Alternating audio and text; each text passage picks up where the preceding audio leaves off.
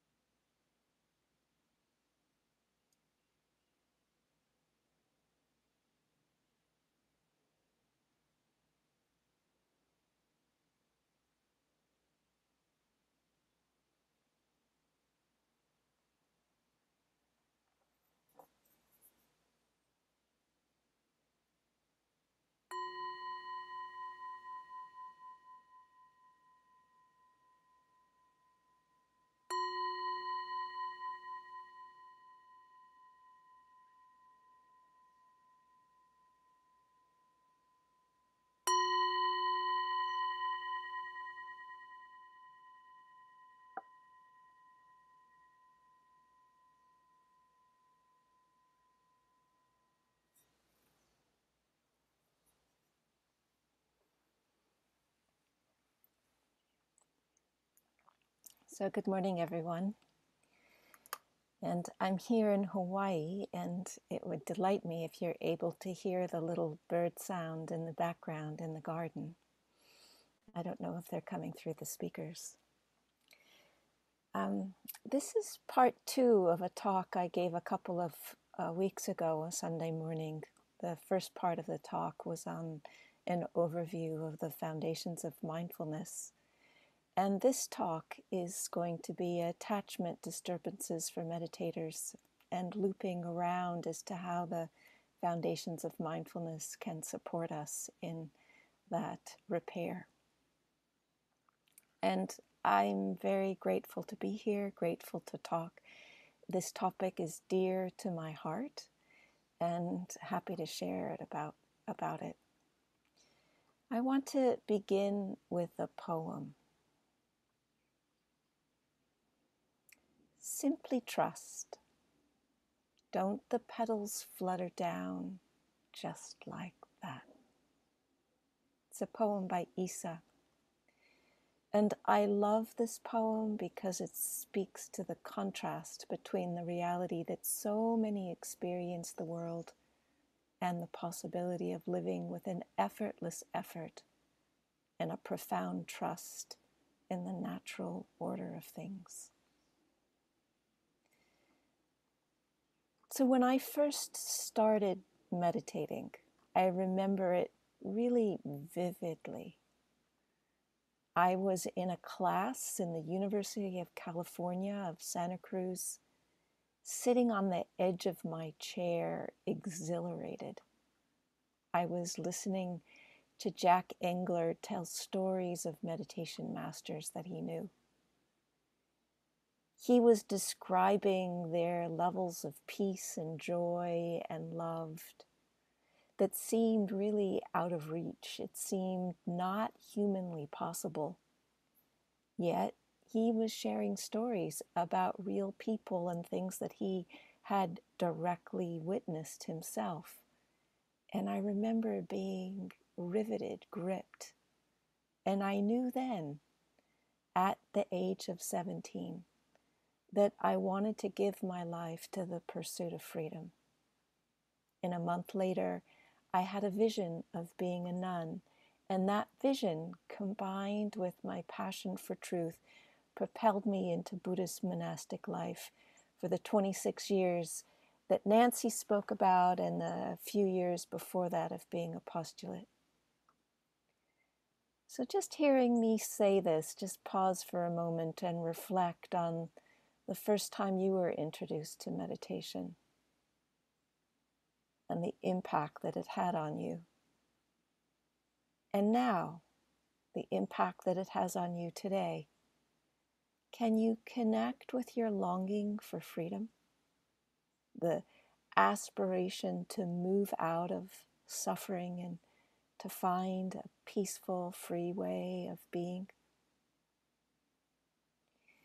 And one of the things as we pause and we recollect is that what we can remember is that, or recognize, is that that longing for freedom, that longing for peace, that longing for the ending or the easing or the relief of suffering is something that living beings everywhere have.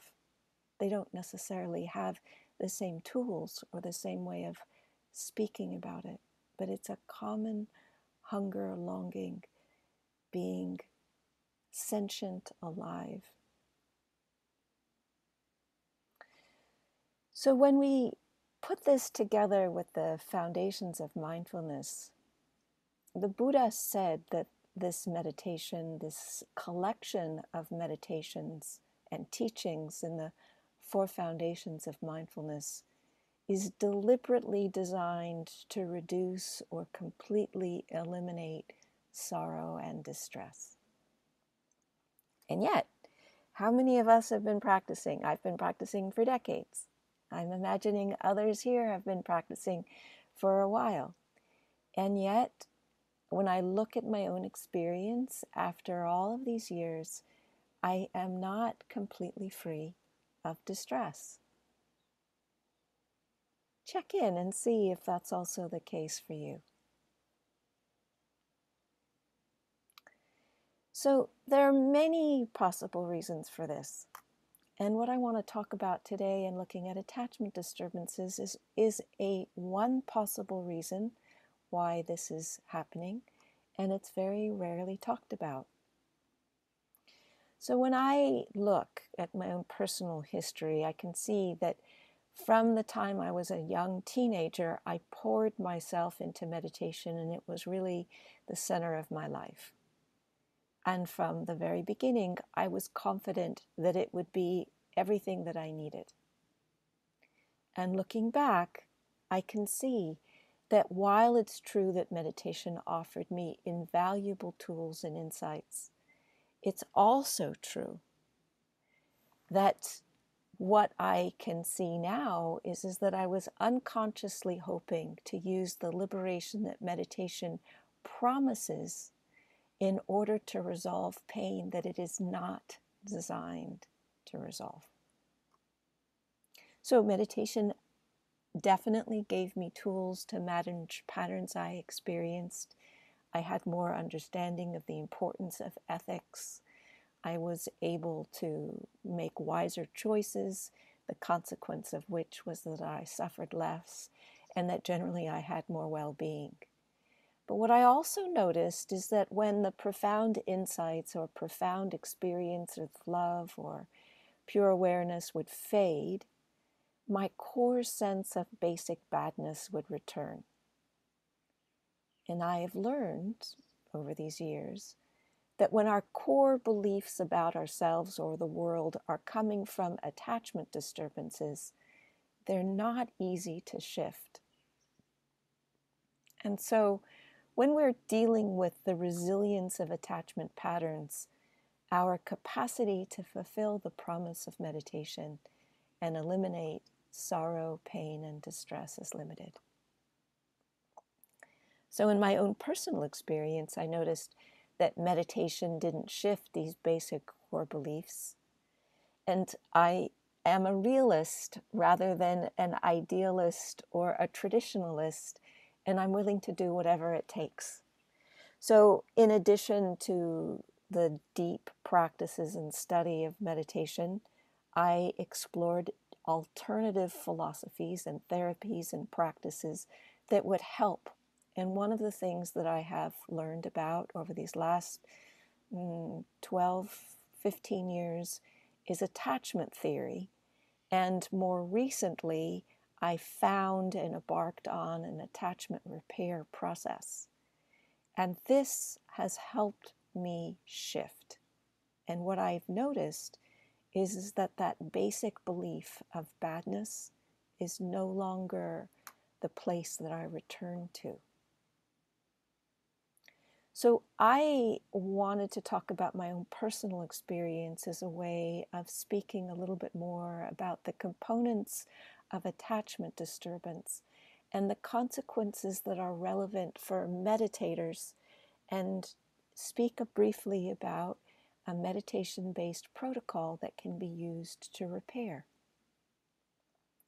And when I talk about the attachment repair, I'll loop together how this repair is connected to the foundations of mindfulness that I spoke about in the earlier talk. But before I launch into attachment repair, I want to just pause because I want to look at the word attachment. The Buddhist view of attachment is that it's the unhealthy grasping of desire, anger, or views. And when we're looking at this kind of attachment and we're looking at the Buddhist philosophy, we can see that attachment is the source of suffering. We want to get rid of this kind of attachment or reduce it, minimize it. But psychological attachment is the bonding that forms between caregivers and child. Without care, we wouldn't survive. And this kind of attachment is fundamental to well being. We want this kind of attachment. So we have the same word and it has very different meanings.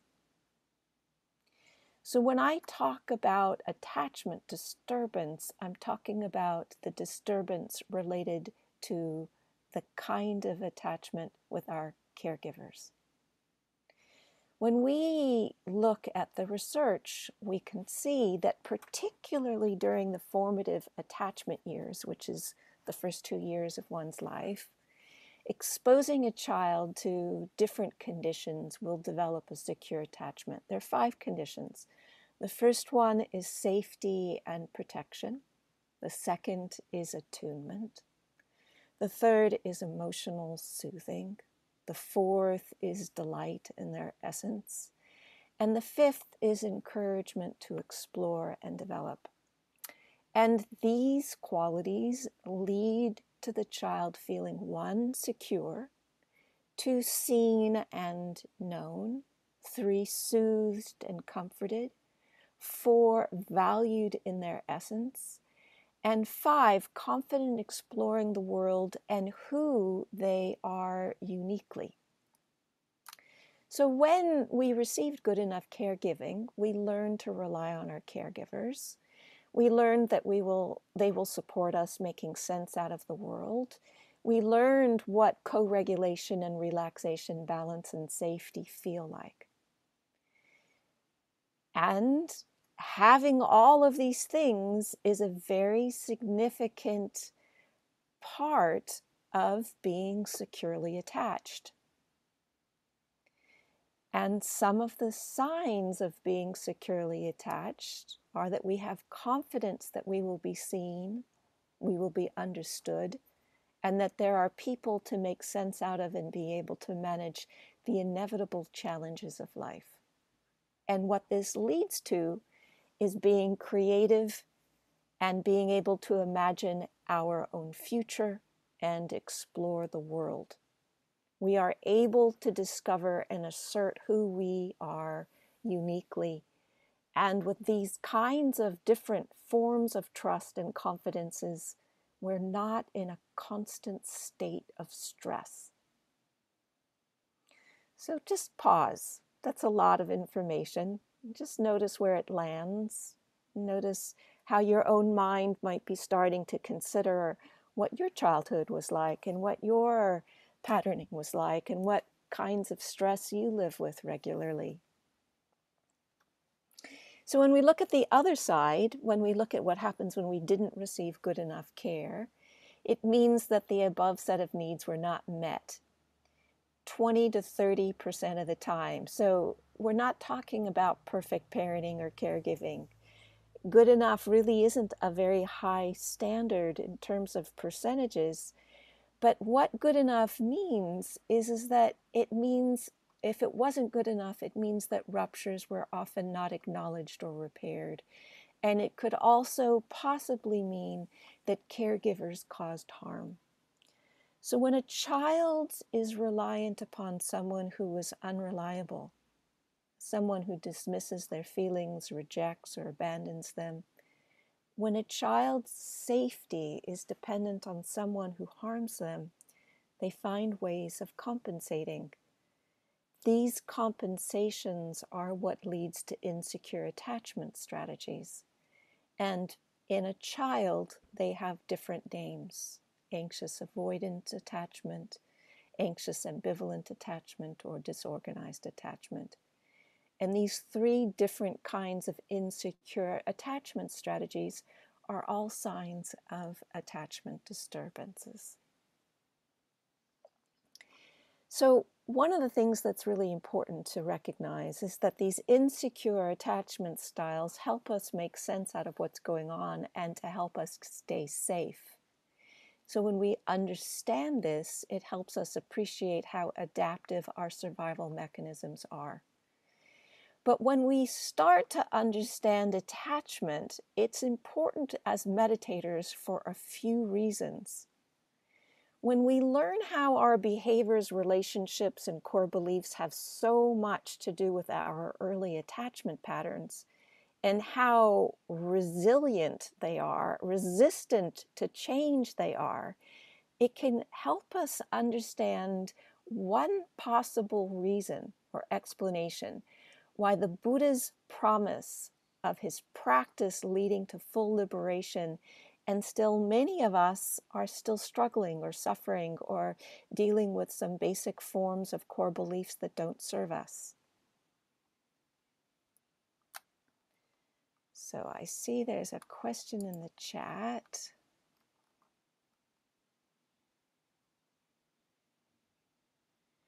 So the question to a chat. So um, what might be helpful because it's going to be maybe a little bit distracting for me to deal with chats in the middle of the talk is to hold your questions and we'll be have a time afterwards.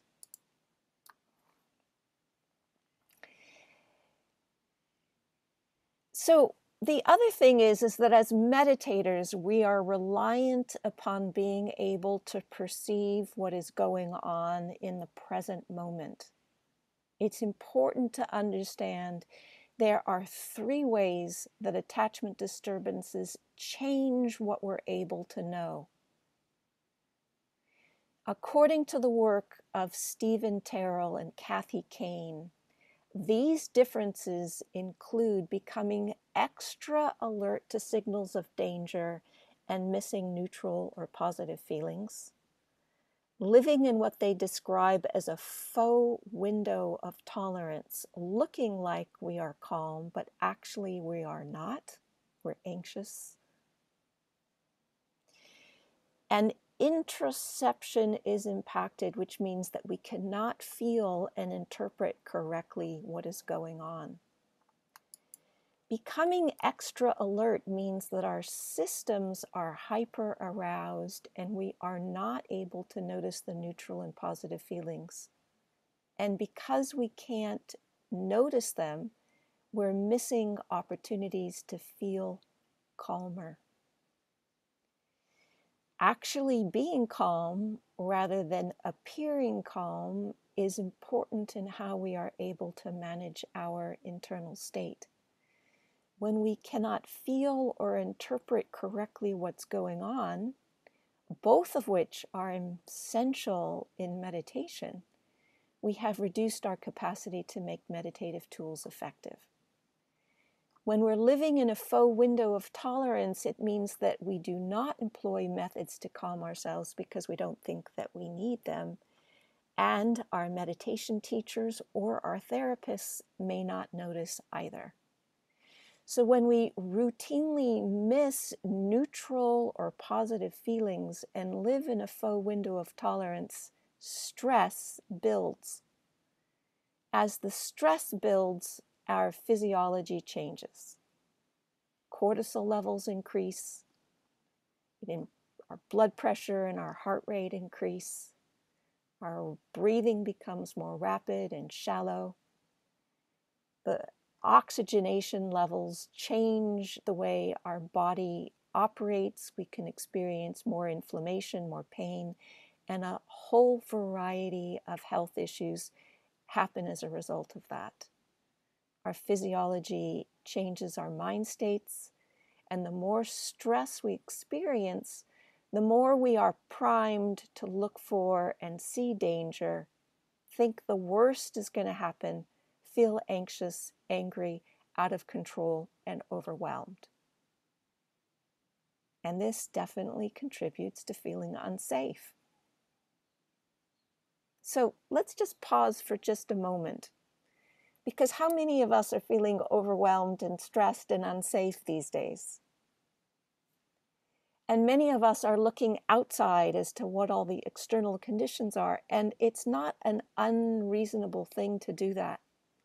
But this helps point us in the direction of what might be contributing internally that is giving rise to that experience.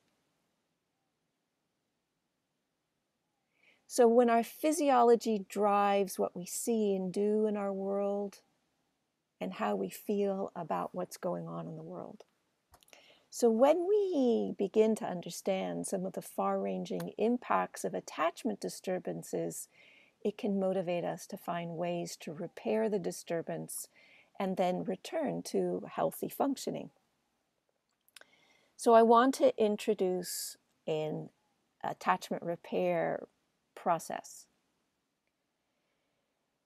There is an attachment repair process that was formulated by uh, Dan P. Brown and David Elliott. It's called the Three Pillars Approach. And it consists of restructuring the internal working model of attachment using idealized parent figures. The second pillar is enhanced metacognition or the ability to use the mind to analyze experience. And the third is enhancing our collaborative abilities. Initially, let me just focus on the second pillar because the second pillar of enhancing metacognition is directly connected to the talk that I gave before on the four foundations of mindfulness. Mentalization or metacognition is learning how to differentiate between our perceived experience and what is actually happening. And this is where the foundations of mindfulness come back into the picture.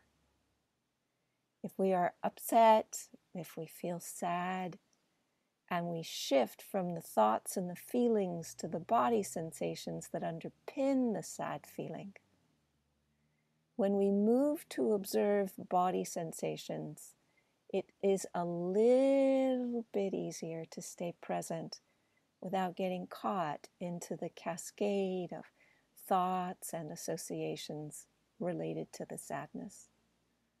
When we don't do that, and when we follow a whirlwind of associations and thoughts, it can lead to further states of powerlessness or sadness or feelings of despair. So, in this example, the sadness is what's actually happening. The despair or feelings of powerlessness that come from the associations of it are the way that we're relating to the sadness. So, in this example, getting caught in a whirlwind of thoughts about all the reasons why we feel sad can undermine our ability to respond in a wise and a compassionate way to the sadness directly. So, I want to pause here and offer a guided meditation. This material is a little bit dense and a little bit different than a regular Dharma talk in that it's, it's um, heavy on the information load. So I just want to pause and invite us into a meditation posture. And before you close your eyes, I just would like to invite you to just look over your shoulder and look around the room and look over your other shoulder. Now, this time, as you're looking in your space, I want to invite you to notice the absence of danger. Notice the absence of scary things, of scary people, of scary smells. That in your immediate visual field, there is an absence of danger. And as you notice the absence of danger, Notice what happens to the level of tension in your body, the level of tension in your nervous system. And then when you're facing forward again, looking above the screen, just allowing your eyes to rest on something that's comforting. And just for a moment, take in that comfort. Just let it fill you up.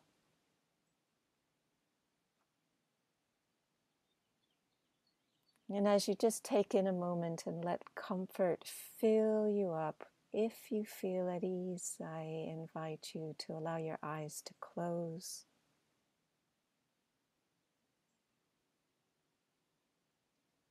And just notice your body sitting here. Notice your weight.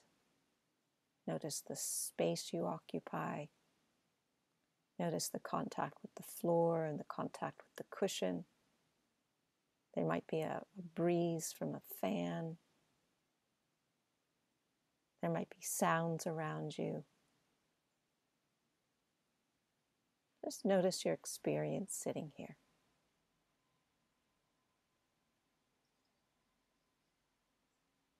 And there's nothing that you need to do or fix or change or get rid of or make better. Just shifting into a open, non-judgmental, welcoming awareness of what's here, what's present, sitting with you right now.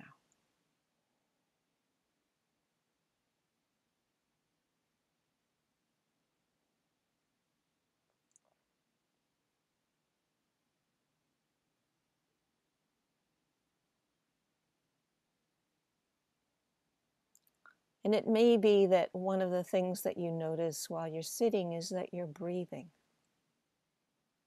And if the breath is a comforting anchor for you to allow your attention to rest, then I invite you to allow your attention to settle with the breath. No need to control the breath or change the breath, but just receive the in breath and the out breath.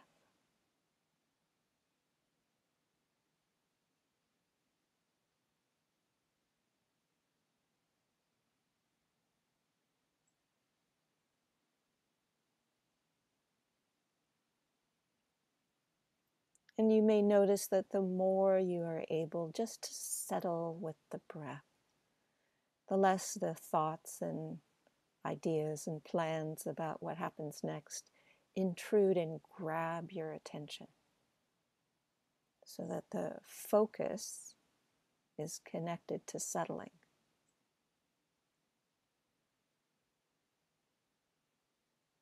And we can also notice that when our attention is grabbed, we can just gently reconnect with the breath.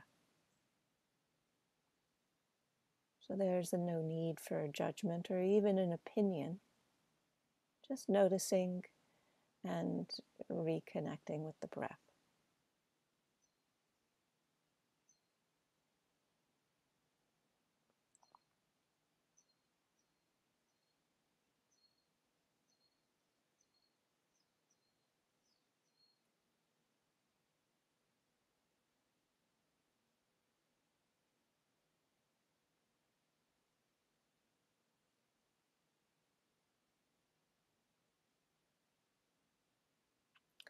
Now, I'd like to invite you to just scan and see if there's any uh,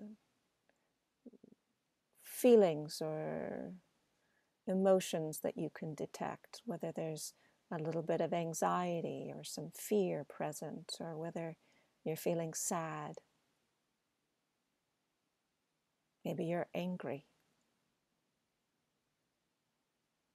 Maybe you're feeling a little depressed or frustrated. And again, without needing to have an opinion or a judgment about what you're experiencing, just see if you can notice it.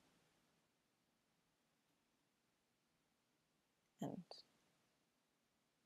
notice the texture. Notice what it feels like in your body. Notice if it's big or small, if it has movement connected to it.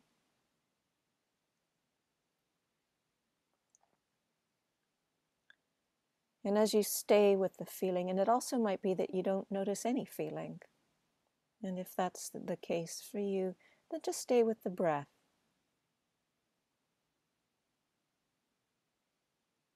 Or there might be a sense of numbness, and numbness is also something that you can feel or a sense of emptiness, and that's also something that you can focus on.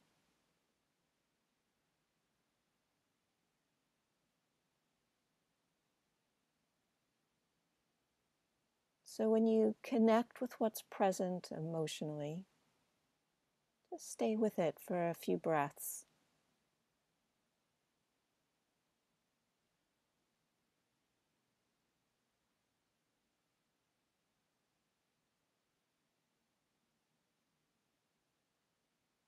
And it might be that you notice that when you stay with it, then uh, there's not that long a time, and And then there's associations of where this is coming from and why it's there and other things that remind you of it.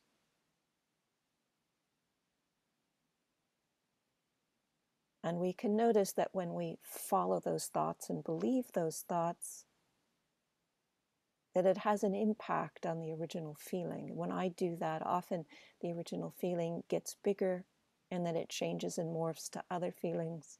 And often the other feelings are also activating.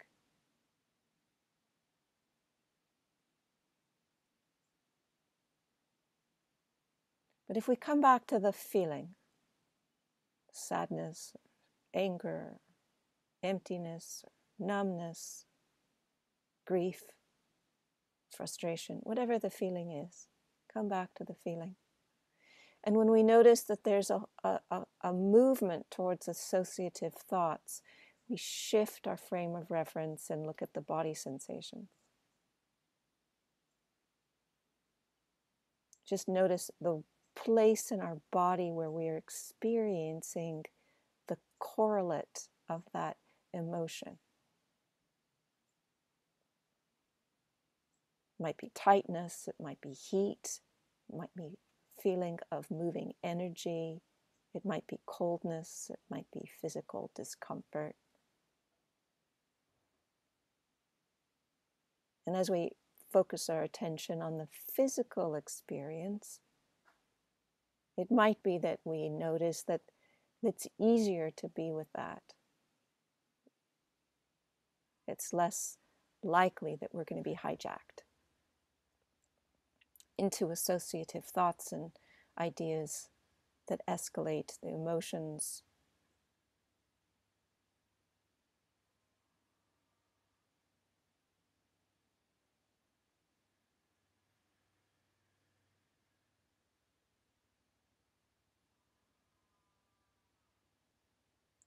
So, this ability to shift the frame of reference from the emotion back to the body sensation really helps us stay connected to what's happening without being taken up or taken away or hijacked by uh, associative thoughts, feelings, and emotions connected with the initial feeling.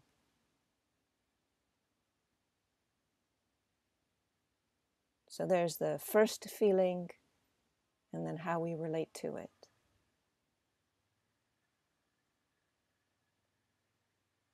And we can see that how we relate to it is going to impact what happens next.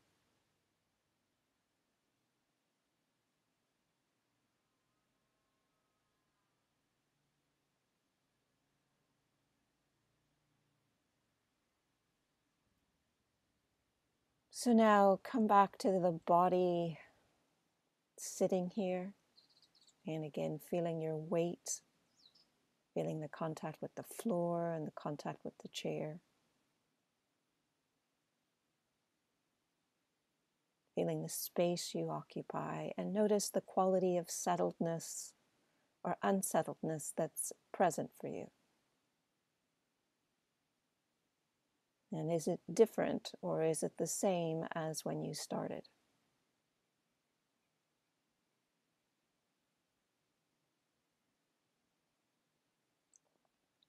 And again, opening your eyes and opening them above the screen. And again, just looking around the room over your shoulders.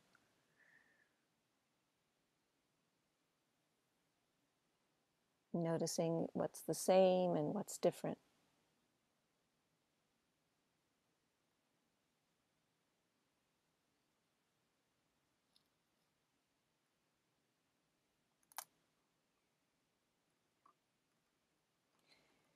So, this is meditation. And this ability in meditation to be able to shift our frame of reference really helps us with the process of mentalization.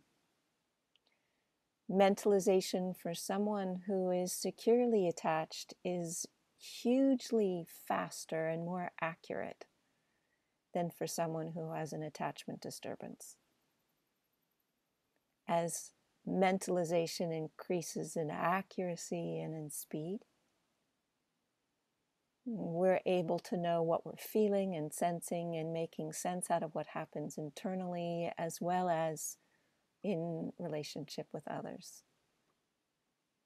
This then makes it easier for us to know when we need to soothe ourselves and to be effective in soothing ourselves.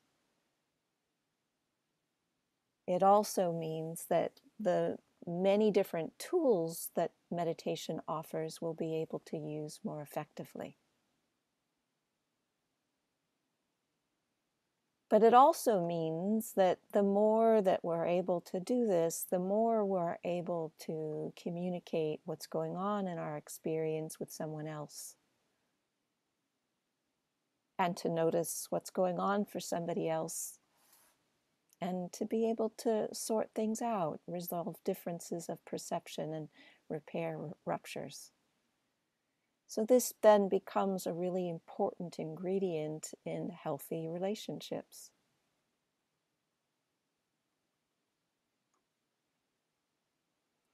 So, when we come back to attachment, statistically, a majority of children worldwide have good enough caregivers and are securely attached. And yet, if you were one of the insecurely attached children, then you can imagine ideal parents providing you with just exactly the right attunement, encouragement that you need.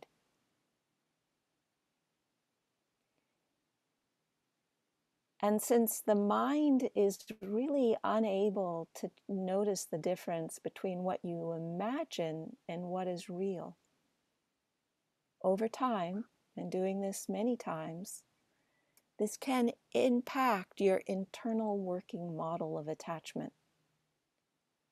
And then eventually, what this leads to is noticing when you feel unsafe, being able to imagine what you need to soothe yourself, and experiencing that feeling of soothing. And then, as you experience more safety, your stress levels decrease. And as your stress levels decrease, there's more a capacity to connect with your innate basic goodness, and from that, make choices and live from that place. The third pillar is the support from collaboration. This comes from support of the of the idealized parent figure coach or therapist. It can also come from nature or peers or Sangha that understand how to cultivate this kind of trust and make space for these kinds of inquiry. And this is one of the places that I feel really energized and excited to cultivate and to develop, happy to talk about more later. So, when we step back for just a moment and look at the spectrum of human development, we can see that, you know, we're born, we grow, and that at some point we die. And we know this is certain. What we don't know is in what ways we're going to grow and how and when we're going to die. So when we're born, we're completely unequipped to take care of ourselves. We're dependent on the care of those around us for our basic needs. And the fact that all of us are here and able to be on Zoom is an indication that an awful lot of our basic needs did get met because if they wouldn't, we wouldn't be able to be here doing this. Because our psychological development has a lot to do with how those needs were met and how we were able to deal with interruptions of our needs, and since part of our needs are physical, our psychological development can never be completely separated from our physical experience. Spiritually, we can grow in different ways. And over years of meditation and years of contact with the Dhamma and years of teaching and years of being connected to a spiritual community, we can see that there's gradual shifts that happen over time. We can grow in our ethical capacity to live. We can grow in our capacity to be generous. We can grow in our increasing skill with our thoughts and feelings and how we experience them in ourselves and the way that we respond to thoughts and feelings in others. And all of these things can be connected to our capacity to soothe ourselves and manage emotions that are difficult. It can increase our ability for kindness and for joy, our resiliency. And we can gradually shift from knowing ourselves through facts and characteristics of identity having more access to the qualities of awareness, compassion, joy, that really are essential qualities of who we are. But in addition to uh, this gradual process, there's also spiritual qualities we can discover that because they are always there, they don't necessarily develop over time. And when we experience them, they can radically shift our relationship with what's going on. Sometimes these radical shifts are preceded by a dark night of the soul where we feel a lot of fear. And when we have an attachment disturbance, this dark night of the soul, which precedes something transformational, triggers our abandonment fear. Because this fear is connected to unmet needs at a very young age, it becomes overwhelming. And the only way that we usually deal with it is to pull back from it. Rather than going through it the fear to experience the emptiness or the non dual state that doesn't have any sense of separate, solid existence, we move away from it. So, one of the reasons why dealing with attachment disturbance is so important for meditators is that we remove a significant obstacle to realizing and stabilizing the non dual states of mind that lead to radical freedom. So, no matter how important meditation is, it will not just by itself shift our attachment patterns. Since our attachment patterns has a lot to do with how we perceive ourselves, how we perceive the world, and how much of the fruits of meditation we are able to realize, then it seems to me, at least it's in my idea, that understanding this and then changing it from an insecure to an earn secure attachment style is going to be very important not only on our personal life but on our meditative life. This is certainly has been my own personal experience so I have uh, two colleagues, and it is our intention to create a relational based, idealized parent figure protocol using the foundations of mindfulness as one of the p- pillars of the regard, of the repair. And I am interested in this because I can see that there are many, many, many benefits in meditation. But unless we do this work, there's an obstacle that it's very difficult for meditation to help us get through. And this obstacle not only is connected to our ability to realize the fruits of meditation, but it's also connected to the ways traumas nest and how we can repair them and heal from them. So I want to pause now and open up to comments, to questions, to impact, to how this how this landed for you.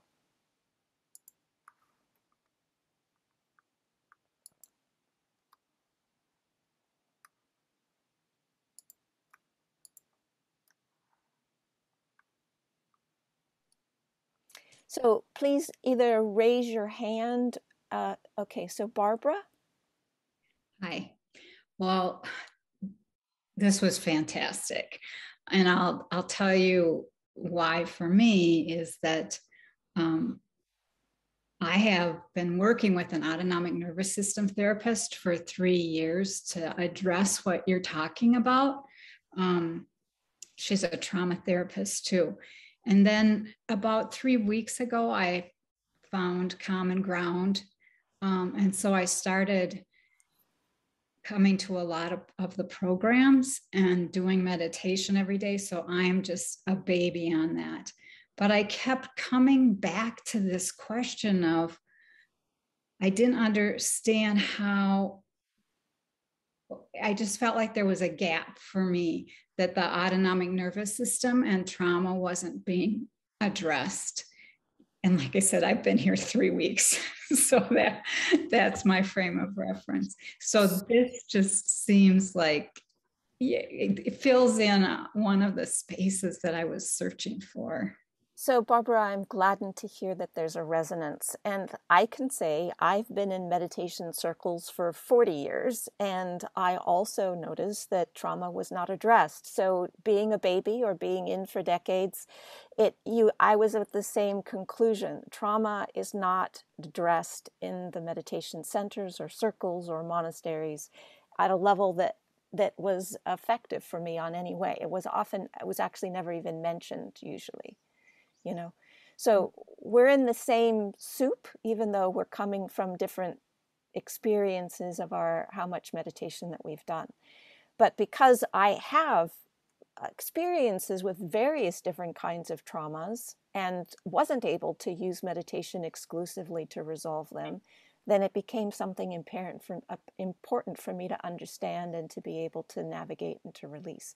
And that's the reason why i have so much passion for this topic because if the point of meditation is to reduce stress and sorrow and suffering, and yet meditation doesn't deal with the stress, sorrow, and suffering that's in these particular areas, then there is a gap between the promise and the result. And we've got to figure it out so that we can, we've got to figure it out.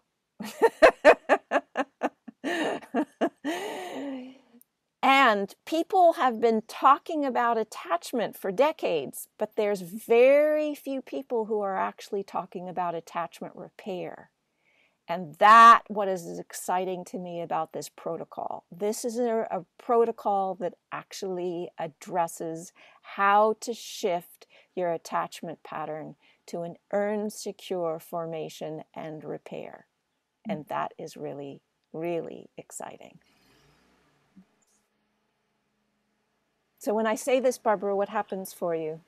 Well, I just am excited. I mean, when you were doing the guided meditation and you were coming up with words of how people were feeling, you know, I, I don't have, haven't been experiencing um, joy and happiness and those, the good, juicy feelings that you want. And and, and you were mentioning, you know, you might be feeling grief, you might be feeling blah, blah, blah. I was actually feeling so much excitement and energy mm-hmm. that this was being addressed that I just, I mean, I guess you're not supposed to grasp, but I was like, it was just wonderful because I was feeling happy and excited. So we also have to understand that the teaching on grasping are also contextual. You know, when you're in a flood and you have a raft, then it's really important to grasp as hard as you can onto that raft. You've got to. Because if you don't, you're going to drown.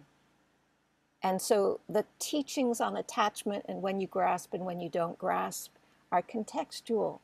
And when there's something that really speaks to you as a vehicle for a way out of a river of suffering, then it's important to pay attention to that and to do what you can in order to optimize the benefits of that. Thank you, Barbara. Thank you. Anyone else? Comments, questions, impact? Yes, Scott, please. Thank you. Yes. Uh, thank you for doing this talk today. Um, I have a question. What if you had one parent that was very nurturing and there in all the right ways, but also had a parent who wasn't? Uh, my brother and I both um, had a relationship with our dad that was well, he, it's not that he was totally absent. He wanted the best outcome for, for us, but he didn't know how to be involved with us himself. Uh, and so we both came away from that with some some uh, trauma, you know, self-esteem. Um, I think we both compensated in our own ways. Um, but I'm just wondering if you had one parent that was quite uh, sufficient, if that makes a difference. So certainly the nourishment that we get does make a difference, but you know there's so many compounding factors that it really isn't an easy way to uh, like just as a, a person from this perspective to be able to say. So the my my coach, my IPF coach, makes it a criteria that when he works with his clients, he asks them all to get an AAI test, an adult assessment interview test, which is an hour long process of asking you a bunch of questions and then they score it. And that gives you a clear read of where you're at because there's so many different factors involved you know different people different extended families the kinds of stuff that you're carrying epigenetically what got activated i mean there's just so many things that it's not possible to be able to say in in like a question like that i can't answer it. But if you're interested in repair then going through this test then gives you a read of where you're actually at and then that gives the coach clarity about how to support you so that you can actually repair. Thank you. Hmm. So, Amma, I think Michelle H has had her hand up. Okay, Michelle H, I don't see your hand, and so please. It's, it, it's a little I'm not seeing oh, symbol oh, hand, but go I ahead and unmute, Michelle. I see it now, yeah. Okay, thank you. I'm trying to be skillful in the words that I choose because there's so much that I'd like to share, and I just really resonate with what everyone has said. And Amma, the path that you've been on, the length of it to come to this wisdom, I just really appreciate so much your brilliance, you're willing to share it. Um, I've been a meditator for about 10 years and I've until very recently I felt like I wasn't really a Buddhist. I would kind of have that shame like I'm not I'm not really a meditator. And I am. I'm a practitioner. Um, and that nervous system story that you tell of the unraveling that was definitely my life.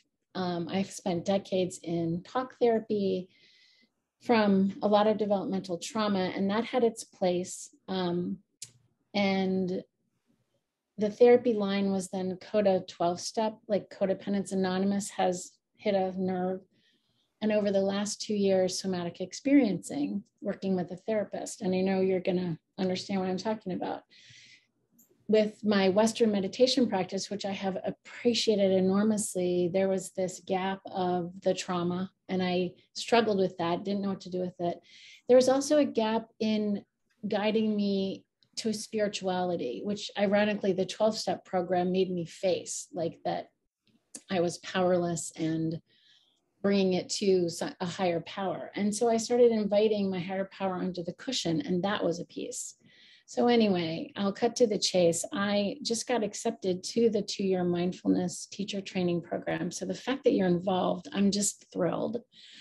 And I'm one year into a three year somatic experiencing practitioner training.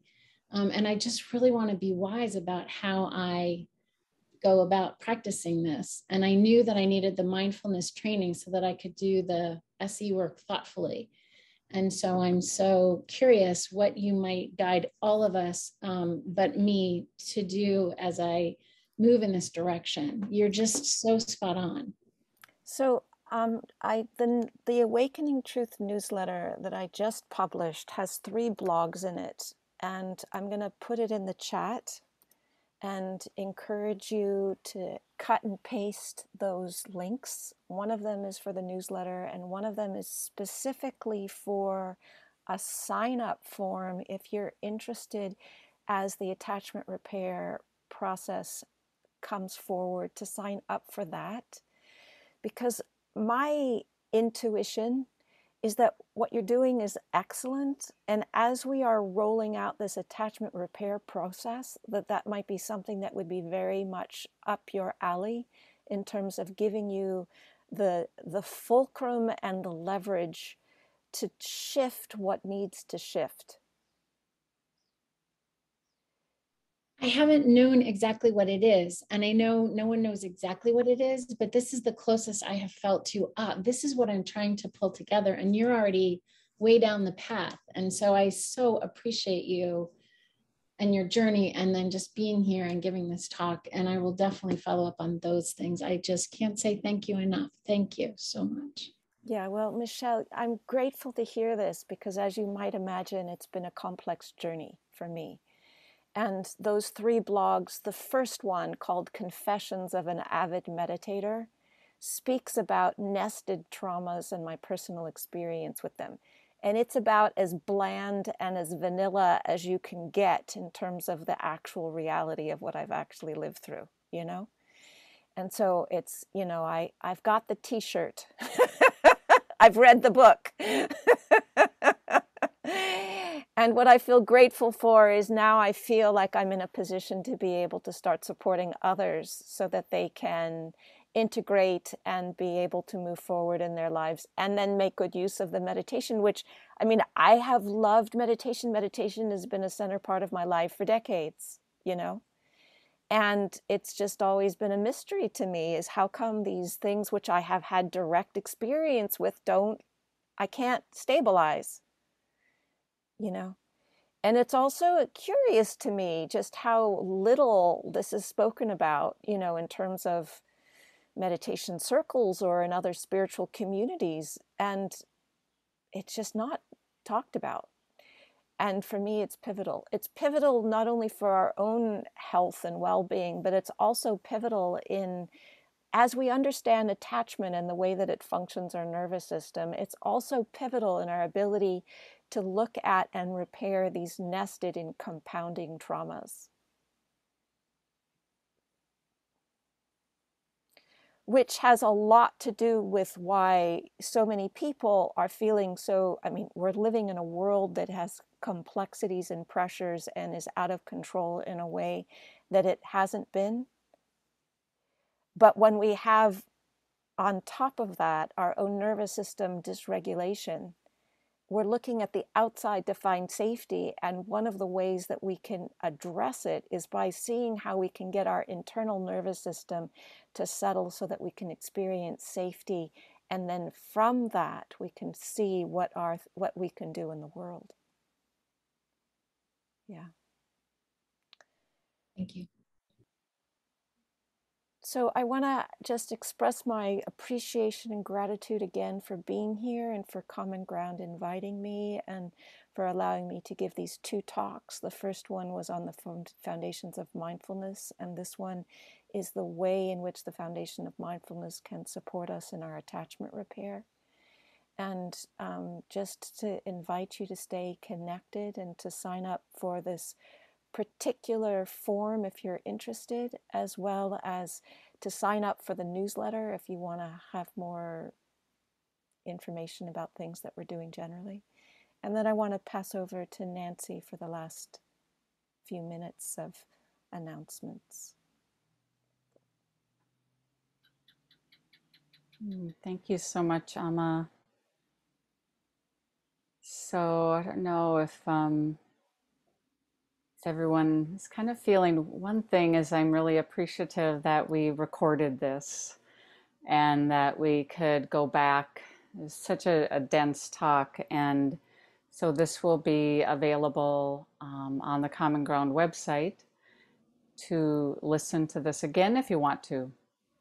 Um, and if we just take a moment, kind of feeling this just all of how it's possible to receive these teachings and that they're offered to us as a beautiful gift and as was mentioned, I think by Michelle saying, like just feeling that the years of um, experience that Amma brings here and just wholeheartedness and giving.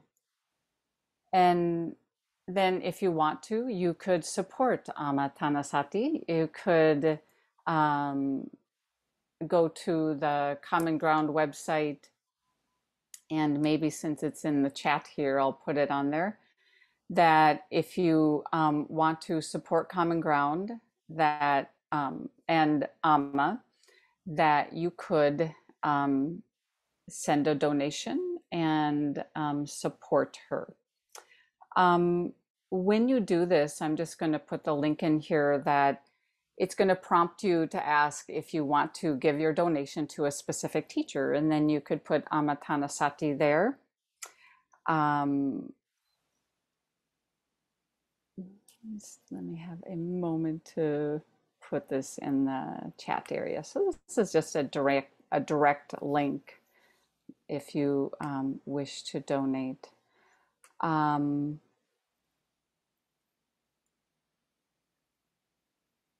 go. Otherwise, um, Nancy, can I ask you a question? Somebody was saying that they tried opening the link to the newsletter and they couldn't get it to work. Oh, If I okay. if I send you a copy of the newsletter, is there a way that you can make that available to, like can I is there a place to electronically post it Um, if the link isn't working? I can talk to Robin about that, like what would be the best way of, of how to make that available. Okay. Now, see, let me check here that this was, I just want, I just need to experiment here.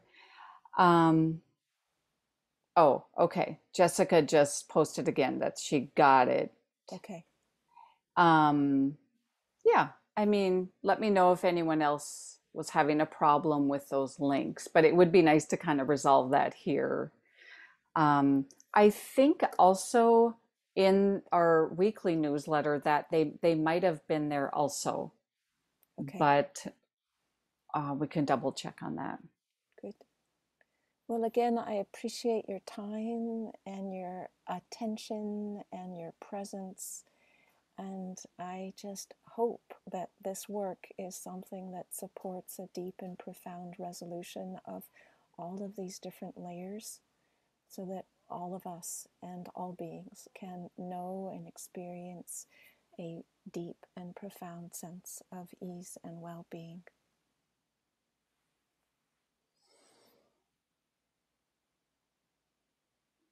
Thank you. Mm, deep gratitude. Thank you so much, Amma, for all that you share. Thank you. Thank you, Amma. Yeah, feel free to unmute if you want you. to share any sentiment. Thank you, Thank you. Thank you, everyone. Yeah. Thank you so much.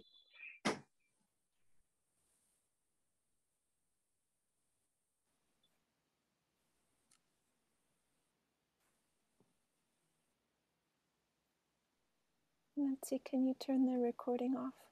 I will.